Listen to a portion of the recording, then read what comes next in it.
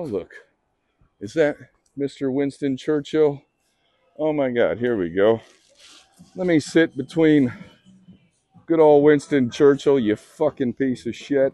Greatest Briton, they say of this man, and FDR.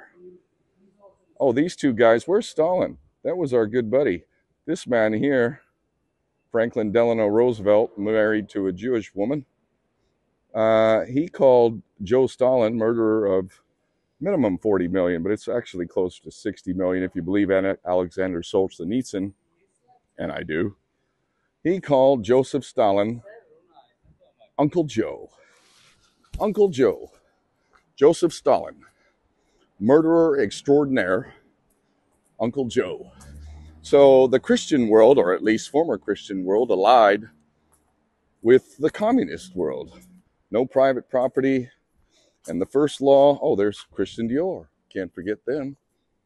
What was the first law after the Bolshevik Revolution, which is the worst period in history?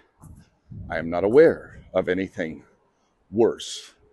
So, how does Christianity, which bans usury, combine with communism, which has at its core no God, no private property, and what was the first law under the Bolshevik Russian invasion. What was their first law? Take a guess. Their first law was anti Semitism. I think they're making a whole bunch of laws right here, right now, in America, too. A whole bunch of laws which are effectively outlawing speaking of truth under the guise of, quote, anti Semitism. Oh, yes. And now in America, it is illegal, not really, but to say that Jesus was killed by the tribe.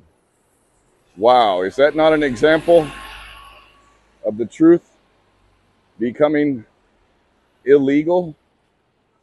Oh, I say it is. And hate speech I am a man who has spoken with love and a willingness to sacrifice all in pursuit of justice for all of humanity. And yet, if you listen to my enemies, I'm a hate preacher. I'm aligned with white supremacists. Funny that is, since I've stood up for non white people. That's what they say hate speech and anti Semitism. All of this is in the process of doing what? To outlaw completely free speech. And how did they punish anti Semitism? The first law they made in communist Russia was death. Death.